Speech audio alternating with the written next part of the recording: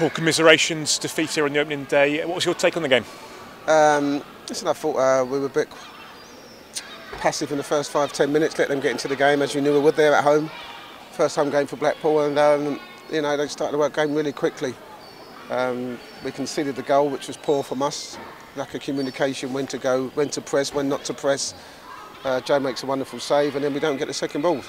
Um, so disappointing to be going a goal down, but then after that, um, you know, we were excellent. We were by far the better team. The second half was absolutely unbelievable. Chance after chance. Yeah, they had a couple of headers from Minute Dean, which you expect. But we just got to be more ruthless. You know, when, you, when you're on top of a game like that and you play the way you did in the second half, you've got to be ruthless. You've got to get goals. You know, Yet gets a chance in the last minute, just smash it. It's a goal. You know, rather than take a touch.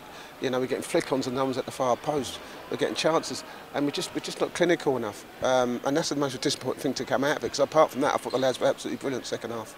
So obviously, as you said there, you know, the, mm. doing so much right, uh, but just not the finishing touch or a pass mm. going astray, and, and that's going to, as a manager, must be, yeah, kind of leaves you scratching your head a bit, doesn't it? It, it does. It does. It's frustrating because you feel you feel sorry for the lads because they put in a shift.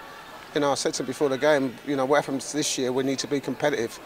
Um, you know, the results are important, but we have to be competitive, and I thought we were very, very competitive for every ball.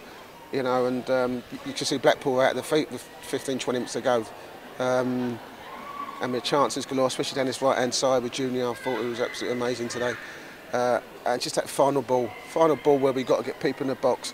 Um, and we've told them this, you know, getting the penalty spot. Just, it's just maybe things didn't fall to us. You know, sometimes in games you probably play well and get beat. Sometimes you'll play poorly and win. Uh, today was one of those games, as I said, um, and you know, I'm disappointed because the lads deserve more. And, so, and obviously the going forward, hopefully, you're going to have more players in the squad, people coming back from injury, people coming into, mm. and then you've got options on the bench because I think you know Shane's the only one with any sort of experience on the bench. You've got like half a dozen appearances to rub between the rest of the subs, haven't you? No, absolutely spot on, Mitch. And I think this are the kids. That have been kids, they're like young men, but they've had a lot of experience. You look at you know Blackpool bringing on season season pros who, who played in the Championship, and you know looking at our bench and thinking, who can, can we change it? Shane Long's not done a lot of work this year in regards to on, on the training ground, so he's a bit behind.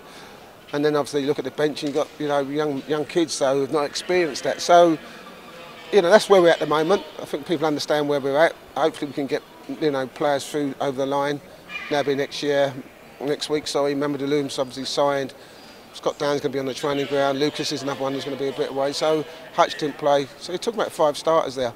Um, but listen, I think the lads were unbelievable the way they played. I'm really proud of them. Yeah, we didn't get the result. We're not always going to get the result. Uh, you're not always going to win games, but if they keep playing like that and competing like that, they'll be fine. And I know, obviously, we can sometimes draw comparisons. We came here uh, sort of back end mm. of last season, and uh, the scoreline was a bit harsh, but we certainly managed to control the game a lot better here. I know the results the same in the sense we lost, but you can probably draw some comparisons, can't you, and hopefully see a better sign of the progress. Yeah, listen, I just said, I, I, I,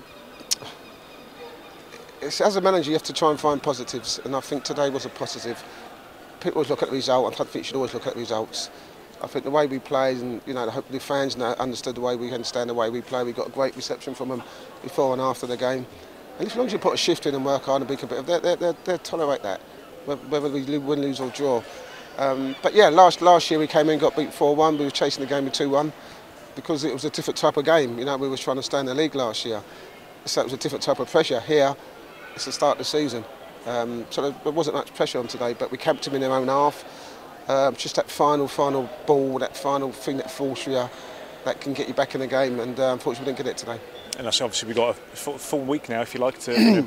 it was Cardiff, and then we've got the cup game, and then it's going to be before you know it, we're in that really thick of this hugely busy August, mm. aren't we? So. Um, yeah, it's another important week we've got coming up, and then hopefully a, a, another week setting ourselves for, for what's to come. Well, listen, I think it's important that we need to get bodies in. I think we, we, everyone looking at the bench today realise that we need to get bodies in, and you know we haven't got that, and that's why the next three four weeks is a case of getting a supporting act for the team that's going to start. You know, as I said, it's a tough, tough campaign. It's 46 games, and you need you need strength and depth. And today, no disrespect, we haven't got that. So we've got a lot of work to do. You know, if, if we're going to do that, because you can't expect these players to play Saturday, Tuesday, Saturday, Wednesday. It doesn't work like that. The championship's grueling, so we need to make sure we try and get some players in next week.